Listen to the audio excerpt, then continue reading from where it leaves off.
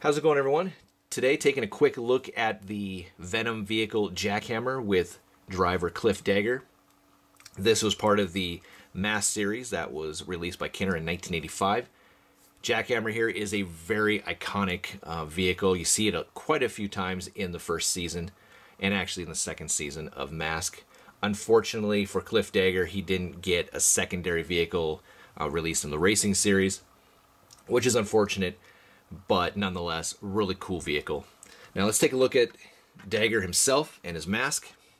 Now Cliff Dagger here was the muscles for the Venom team, and not the brightest though, unfortunately. Um, but this is a two-inch scale series, and for a two-inch scale series, it's got a nice amount of detail. You see, you know, his shirt's painted. You got some nice paintwork on the gun. None of the faces though had any um, like painted facial features as far as like his eyes, lips, and such like that. But again, not bad. As far as articulation, six points of articulation. So you had a swivel for the neck, so you could you know turn around 360 degrees. At the arms, you can do the same thing. At the hips, you can move them forward, back. That's about as far back you can go. And then you also had a knee joint. That was just to get them to sit in their respective vehicles. And then his mask was Torch. Now this is the first release of Torch. There we go. The second release had a little more plastic on it to prevent choking. Um, but this is the one that you'd want to pick up if you're gonna pick up this guy. Solid cast in gray, then black painted accents, and it's a softer rubber. Sticking on him right there doesn't fit too flush on his shoulders, but nonetheless it looks good. It gets him a little more height, and he is the smallest member of the team for Venom. Um, I think even out of all of the releases, he's he might be taller than Bruce Sato, maybe, and maybe taller than Scott Trakker, But as far as on the Venom team, I should have got Floyd Malloy. He's pretty short, but there he is next to Miles Mayhem. And also for being the the muscles, he's not really not really there. Here's Sly Rax. And then even Vanessa Warfield. She's leaning forward. There. Is taller than him. Alright. Bring the vehicle back in here. Now the vehicle is a I love mask and I love this vehicle. I love the fact that you got the nice rubber tires, which is what was consistent throughout the um, mask line. And I like the realism. Also, like you got the Goodyear stamped on the actual tire. You got the nice chromed wheels. Um, you got the nice chromed front end and such. Rolls nicely. Open and close doors. And this was also really nice for the fact that you could carry multiple um, team members and such. You can kind of see inside. You can move the steering wheel. You do have that sticker right there for some added detail and such.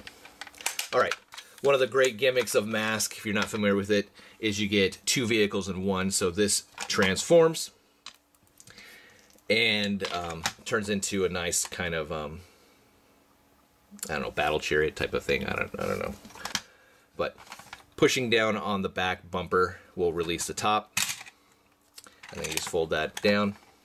And then there's a nice little storage area right here for this gun, which is probably the the bane of this release, trying to find this and trying to find it in really good condition because this always gets bent, always gets lost. But this weapon right here just plugs in the top right there. Then you have that. And then you just flip this up. Nice little spot for your finger. And that releases this part to go down. And then you get the Venom sign. And then it activates the gimmick where you can kind of see the guns now are popping out in the front. This can swivel around about 360 degrees. Um, as far as looking for one of these in, in pristine condition, sometimes you're going to get marks right here because of the fact that, you know, play value. People are spinning this around, so it, it hits that. But other than that, though, it looks great. Exactly what you see in the show. You can just pop Dagger right there. And then you can take your other characters.